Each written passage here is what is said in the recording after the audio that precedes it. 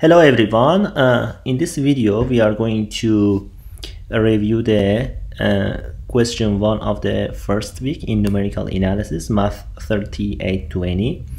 So we will uh, try to review the notion of the interpolation of the data and we will try to solve the question um, 1 A, B, C, D. Alright, so before starting uh, so I would like to say that uh, this is the environment of the MATLAB. And before starting to do the question one let's see that we can like uh, assign the numbers to the x and the y like two numbers. And we can run it. Okay. And we just leave it and the name is should be like this. So and we can assign z equal to x plus y.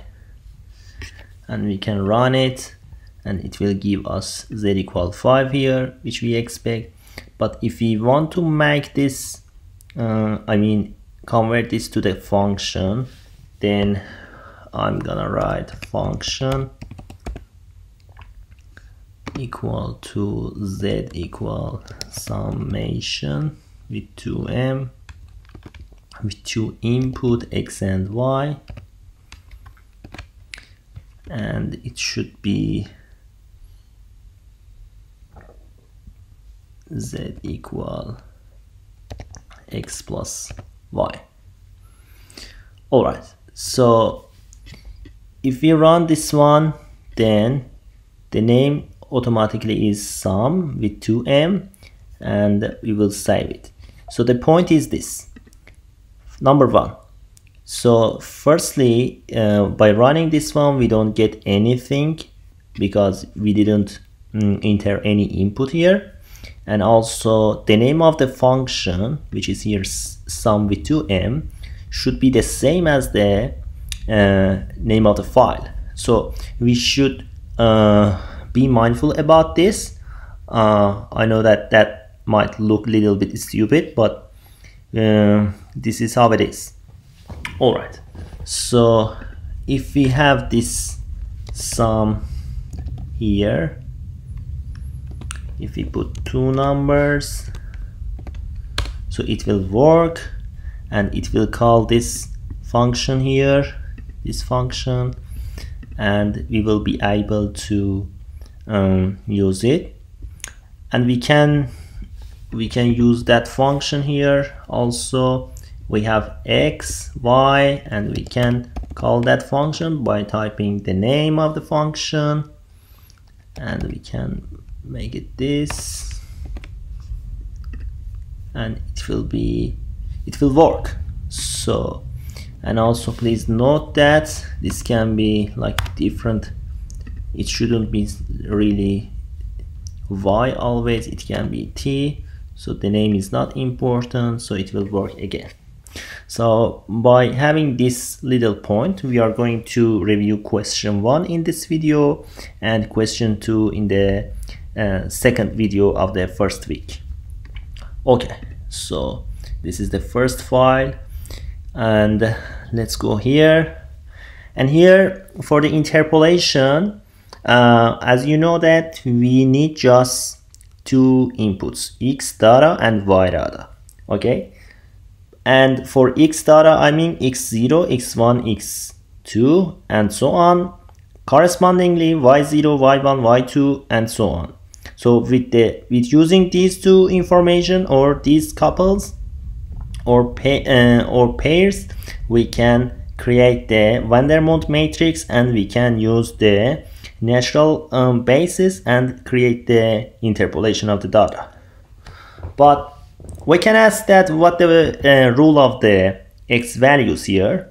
Well after setting the Vandermonde matrix using the x data and solving the linear system uh, using the y data then the coefficient is ready.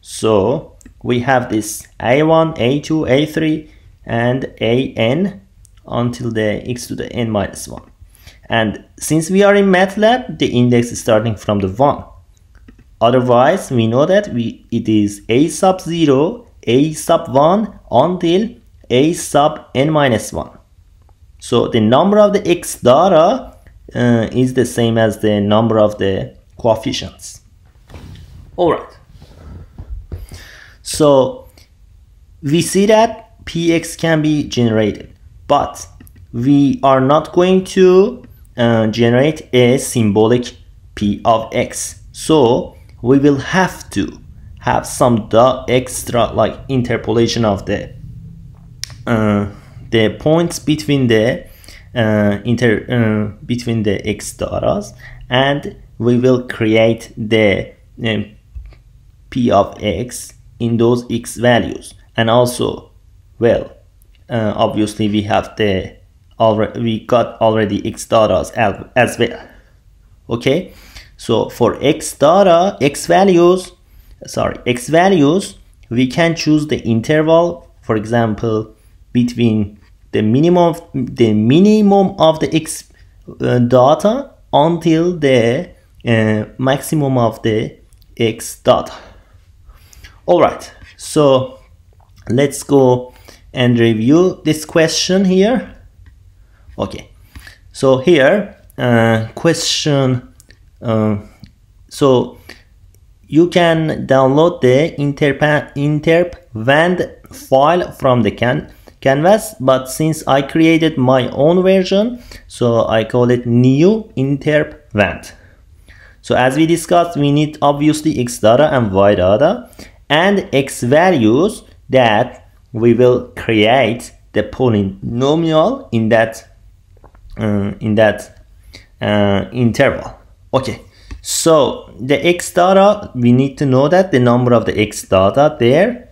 As a result we, we will know that how many coefficients do we need to find. And using the vectorization so x data. So we have x data x0 x1 until x sub n minus 1 okay?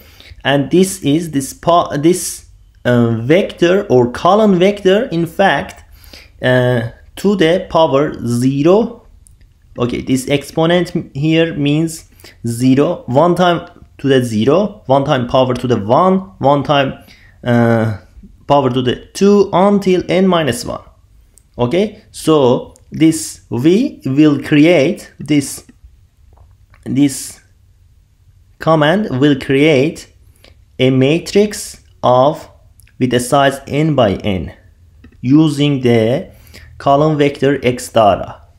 Okay? So mm, this is uh, so but i should say that mathematically it's not true. So but this is just the command in matlab uh, it is possible to write this one you using a loop but this is the easiest way and the fastest one. All right so we have the Vandermonde matrix and we are going to uh, uh, so we we got the y data and we are going to use this one a equal the system of the equation um, we need to find so we know that Vandermonde matrix times uh, coefficients a equal to y data okay?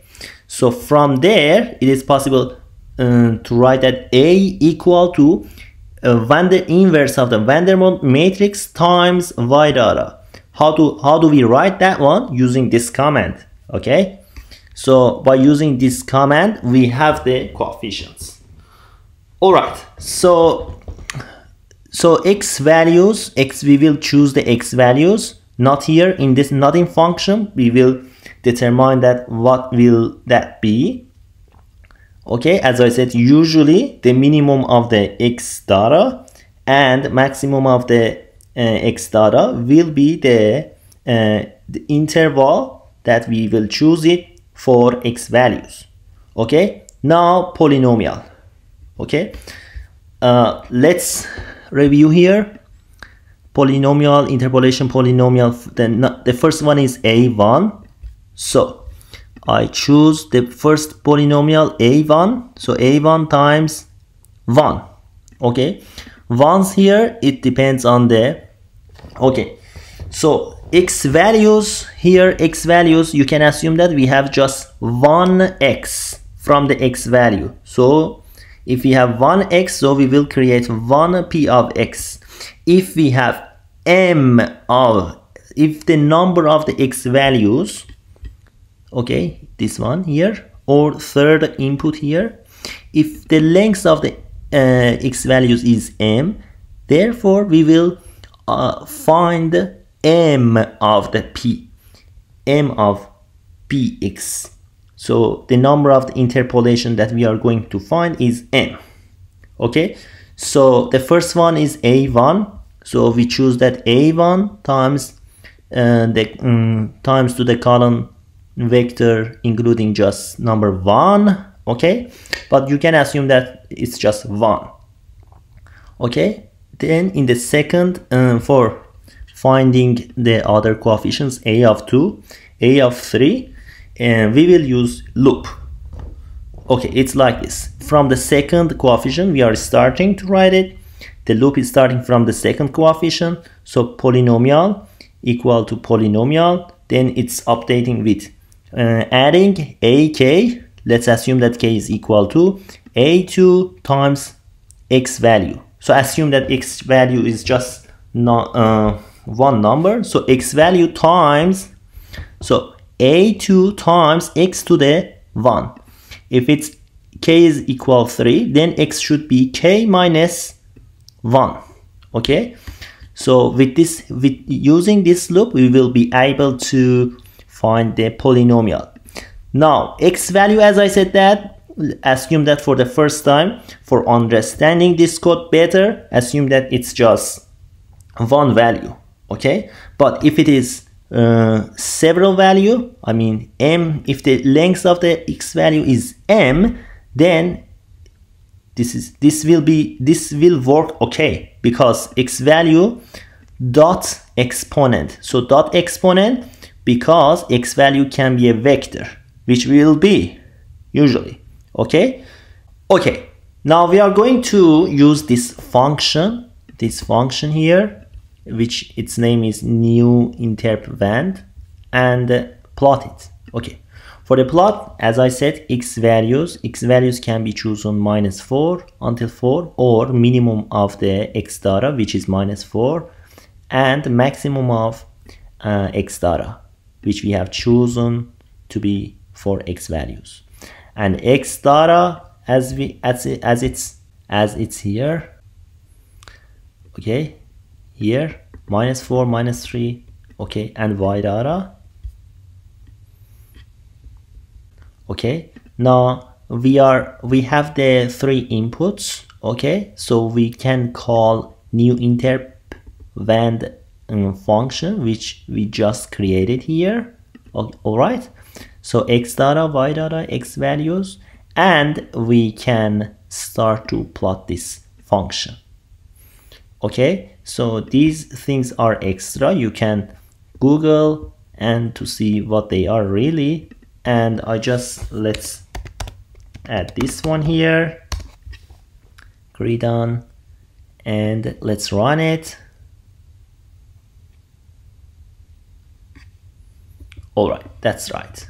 Okay so this is the interpolation. And uh, you can see that um, the plot of the interpolations interpolates or passes from all the x data and it's possible to obtain any number x tip uh, data tip uh, to on to know that the value of the y um, if we choose x between the x datas